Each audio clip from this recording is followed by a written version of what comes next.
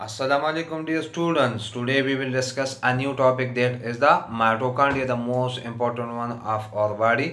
चूँकि लाइफ की जितनी भी प्रोसेस है उसके लिए एनर्जी चाहिए and that energy is produce actually by this part of the cell and that is called mitochondria हम यहाँ पे इसकी मीनिंग वाइज डिफिनीशंस करेंगे ठीक है फिर आगे डिटेल वाली डिफिनीशन भी है मीनिंग वाइज जो इसका मीनिंग है so this is actually derive from two word mitos and chondrion 1897 से पहले चूँकि इसके दो फॉर्म्स है हमारे पास एक ग्रेनुलर है एक फिलामेंटस है सो so, 1897 से पहले साइंटिस्ट बात कहते थे कि the granular part of the cell या cytoplasm and the filamentous part of the cytoplasm बाकी वही है क्योंकि इसके दो फॉर्म्स है तो इस वजह से 1897 में एक साइंटिस्ट है बेंडा, और उसने कहा कि चलो इन दोनों नामों को कंबाइन करवाते हैं और इनसे बनाते हैं माइटोकॉन्ड्रिया सो माइटोस का मतलब है thread or filamentous and chondrion का मतलब है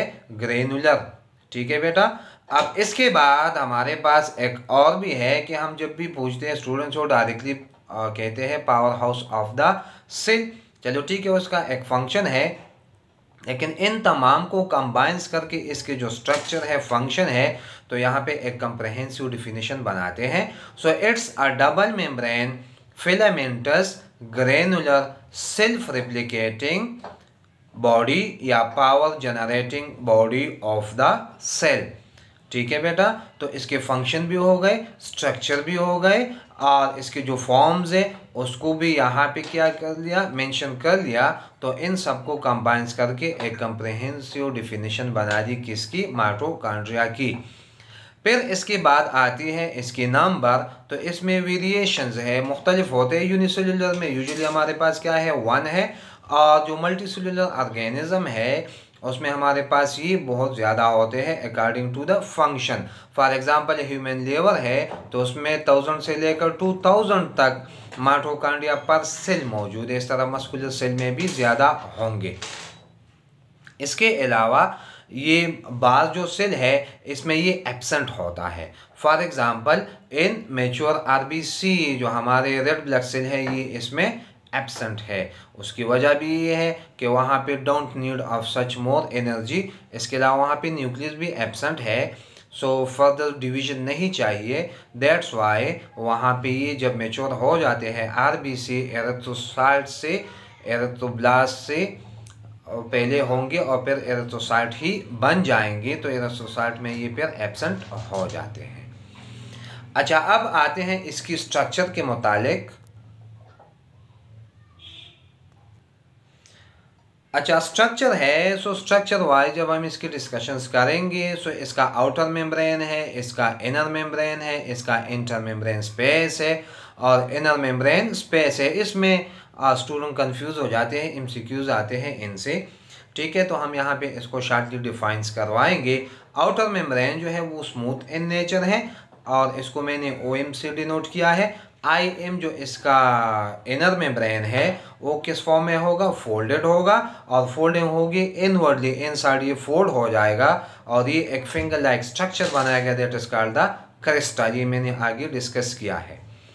अच्छा इंटर मेम्ब्रेन स्पेस जो है वो कहाँ पे होगा? So this is actually between the outer membrane मतलब ओ एम और इनर मेम्ब्रेन के बीच में जो स्पेस होगी that is called inter membrane space और एक है इनर मेम्ब्रेन्स के अंदर जो जगह है that is called the inner membrane space और उसको हम टेक्निकली बोलते हैं मैट्रिक्स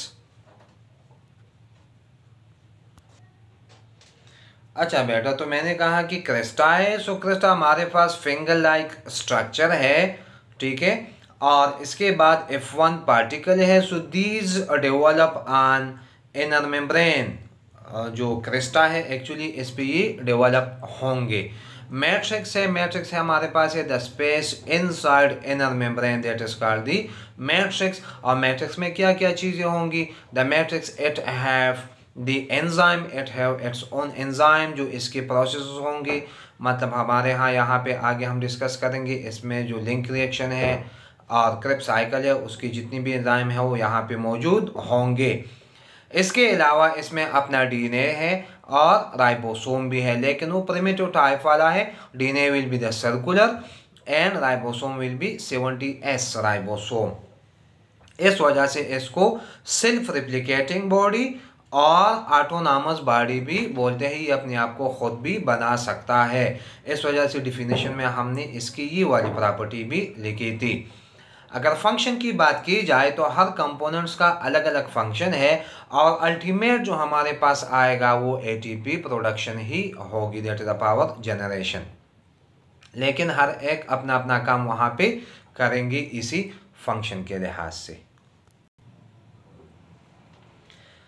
अच्छा तो यहाँ पे ये डायग्राम जो बनाया है माइटोकॉन्ड्रिया का so that is the outer membrane और ये इसका है, हमारे पास क्या है? इनर मेम्ब्रेन है ये वाला, और इसके बीच में जो ये स्पेस है हमारे पास this is called inter membrane space अच्छा इंटर मेम्ब्रेन स्पेस है, इसके बाद हमारे पास ये इन इनसाइड जितना भी स्पेस है मतलब ये इनर मेम्ब्रेन्स के अंदर जो जगह है now this space is called the matrix ठीक है? और मैंने वहाँ पे कहा भी था कि जो इनर मेम्ब्रेन है, ये अंदर की जानब फोल्ड हो जाएगा और उसी फिंगर लाइक स्ट्रक्चर को आप देखिए ये है ये है, ये सब हमारे पास क्या है? फिंगर लाइक स्ट्रक्चर है। ये बहुत होंगे न्यूमरस होंगे वहाँ पे। Now this finger like structure is called crista अच्छा इसी क्रिस्टा पे डेवलप होते हैं एफ़ वन पार्टिकल हर एक पे numerous F one particle develop होंगे। So now this is the complete structure of a mitochondria और इस हर एक हिस्से का अपना अपना काम है। सो so, फ़ंक्शन मैंने यहाँ पे इसका सेपरेट हर एक का लिखा है जो एग्जामिनेशन और ईटा ये जो एंट्रेंस टेस्ट होते हैं इसकी लिहाज से बहुत इंपॉर्टेंट है। By inner membranes by inner membrane कौन सा प्रोसेस होगा? That is called electron transport chain जो इलेक्ट्रॉन ट्रांसपोर्ट चेन वाले कैरियर्स है, वो सब यहाँ पे मौजूद होंगे इसी इनर मेम्ब्रेन स्पेस पे। अच्छा by F one particle F one particle जो हमने यहाँ पे डिस्कस किया है, ये वाला, इसका काम क्या है? That is A T P synthesis जो ए टी पी सेंथिसिस है A T P synthase complex है, वो यहाँ पे एक्चुअली मौजूद है। ये अलग प्रोसेस है, वो हम कीमो ऑस्मोटिक थ्योरी के मुतालिक बाद में पढ़ेंगे। अच्छा बाई मैट्रिक्स सो मैट्रिक्स में क्या है? लिंक रिएक्शन है और क्रेप्स साइकिल तो ये साइकिल जो है, ये यहाँ पे होंगे लिंक रिएक्शन और क्रेप साइकिल ये लिंक रिएक्शन और क्रेप साइकिल से एक्चुअली बाद में इलेक्ट्रॉन ट्रांसपोर्ट चेन में एनर्जी एटीपी जनरेट होंगे। So this was about the mitochondria totally discussion thank you